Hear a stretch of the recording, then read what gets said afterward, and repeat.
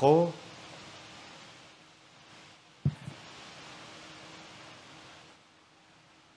nangarap din ako. Tulad ng pangarap ninyo sa mga anak ninyo. Nangarap din ako ng sariling mauuwian. Umulat bumagyo. Pagkaroon ng dilubyo. Magdildil man kami ng asin. At least yung bahay ay amin. Yun ang pangarap ko.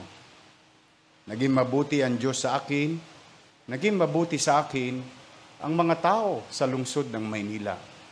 Bagamat sa murang edad, binigyan ninyo ako ng pagkakataong maglingkod. Darating at darating ang oras, liliwanag din ang ating isipan. Sino ang totoo? Sino ang tunay? Kaya kayo na mga magulang, obligasyon natin sa ating mga anak na laging paglinawin ang kanilang kaisipan. Ang ating mga kakilala, ang ating mga kaibigan. Swerte kayo ngayon. Maswerte kayo ngayon. Pero paano ang iba?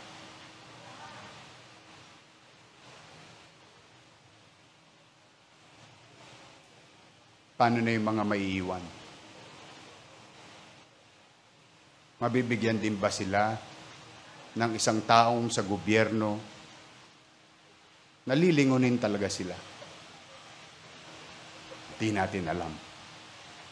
Yan ay tadhana. Kakaroon din pa kaya sila ng leader? Leader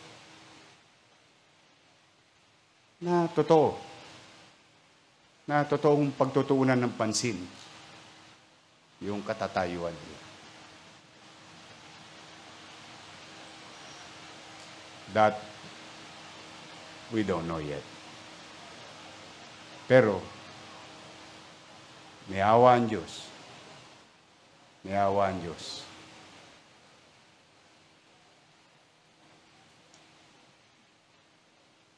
Mabigyan lang ako ng pagkakataon.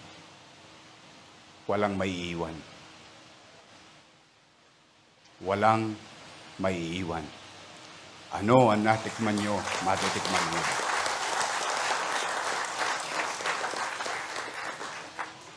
Nasabi ko na, ang dapat kong masabi, ang pangarap ko sa iba. Nung sinabi ko sa inyo, magtatatag ako ng ganito. May ilang pang pabida, pabida-bida, pero hindi tayo nagpatanig, nagpatalo. Tinuloy natin yung laban para sa inyo. Nangyari, kinaya. Alam ninyo, baon sa kalugmukan ang ating lungsod nung ako'y maging alkalde. Hindi kaila. Pero hindi tayo tumigil.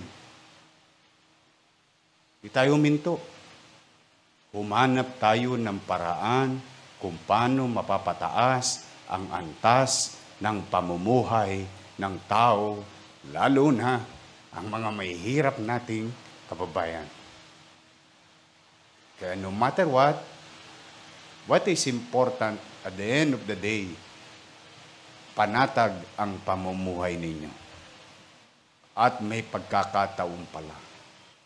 At sa mga matatandang nandito, buti na lamang inabot nyo to. Buti na lamang balang araw, magpapantay ang mga paa ninyo. Pipikit ang mga mata ninyo.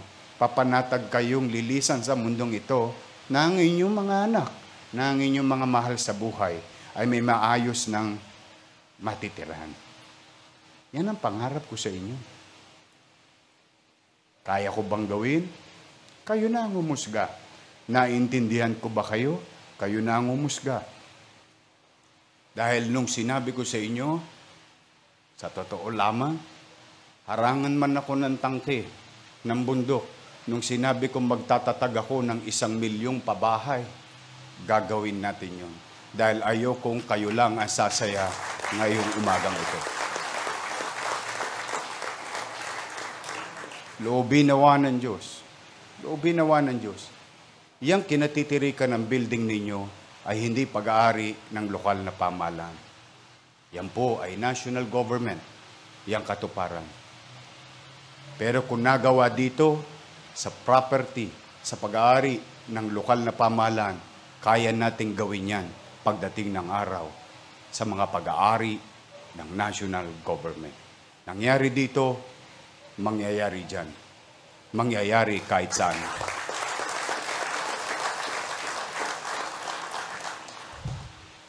Kaya, salamat sa Diyos. Salamat sa Diyos. Salamat sa Diyos dahil nabigyan ako ng pagkakataon, mabigyan ko kayo ng ngiti sa gitna ng pandemyang ito. Ngiting hindi mababayaran ng anumang halaga. Tunay na ngiti.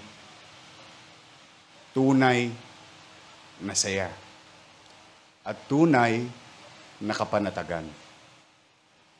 Doon sa ibang building, maaari kayo nanonood sa Facebook. Doon sa ibang tao, manalig. Manalig kayo sa Panginoon Diyos. Mabigyan lang ako ng pagkakataon. Laging tao ang mauna. Hindi ang politiko, hindi ang partido. Mamamayan, lagi ang magiging gabay natin sa paglilingkod sa bayan. Ang araw na ito ay ipinakikita natin sa mundo na dito, sa isang sulok sa tundo, napatunayan na pwedeng bida ang tao. Napatunayan, pwede pala makinabang ng tunay ang tao. Yan, darating ang mga araw, darating sa buhay natin, darating ang mga oras na magmumuni-muni tayo. And I hope someday, somehow, paliwanagin nawa ng Diyos ang kaisipan ng bawat isa sa atin. So ngayong araw na ito, inaalay namin sa inyo ang hirap na ginawa ng mga construction worker na nagka-COVID pero hindi tumigil na itayo sa lalong madaling panahon. Katulad ng sinasabi ko sa inyo kanina, sa araw-araw na ginawa na ng Diyos, nangangamba kayo na baka lumindol, magiba ang katuparan ng inyong tahanan. Hindi sila tumigil. Palakpakan natin ang ating mga construction workers. Masaya ako para sa kanila. Maraming nawalan ng trabaho. Libo-libo. Libo-libo. Hindi po isa, hindi po sampu, hindi po isandaan. Libo-libong mga mahihirap nating kababayan na itawid natin na makapaghanap buhay upang gawin ang inyong bahay. Hindi sila tumigil. Marami sa kanila nagkasakit. Kaya taus puso ang aking pasasalamat sa ating mga construction workers na gumawa ng ating mga tahanan. Sa ating mga kapwa kawani, mga konsihal, palakpakan natin sila. I owe it to them. At sa lahat pa ng bahagi ng ating pamalan. So muli, sa inyong lahat. Masayang masaya ko para sa inyo. Totoo pala na ang laway ko nasasanla. At maraming salamat, pinanghawakan ninyo ang laway ko. Maraming salamat sa inyo, pinanghawakan ninyo ang salita ko. Dahil kung ninyo Ipinangako ko sa inyo to noong 2019. Maraming salamat. Bagamat bata pa ako, binigyan ninyo ako ng pagkakataon. I hope hindi ko kayo nasawi.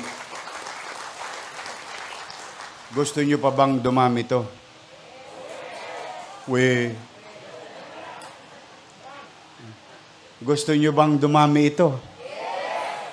Gusto nyo ba yung iba pa ninyong kapitbahay magkaroon? Dapat lang. Damay-damay na to.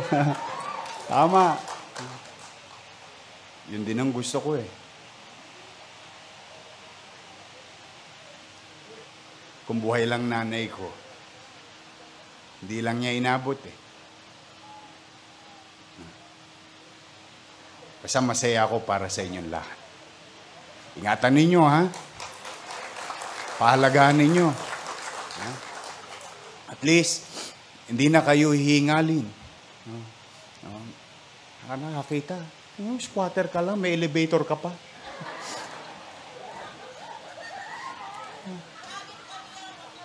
Yeah? I mean, what kind of differences that can make and made, you know? Kaya, sa totoo lang, isa lang ang pangarap ko, naging libo-libo. Ngayon, yung iba naman, huwag kayong umalala, mag-alala. O, matatapos to, Marso, yung isa. O, susunod na yung isa pang building. May awa ang Diyos. Walang maiiwan.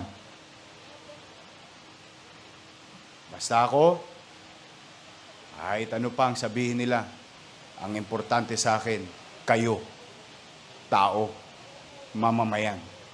Yun ang dahilan kung bakit ako pumasok sa pamahalaan. Maraming maraming salamat sa pagkakataon na yon. Mag-iingat kayo.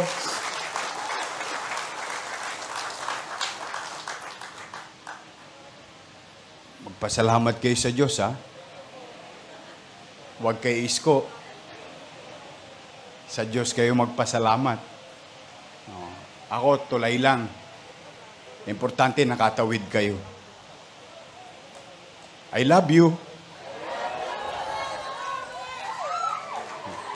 Mag-ingat kayo. Mahal na mahal ko kayong lahat. Magandang araw. Pagpalain nawa kayo ng pong may kapal. Manila, God first.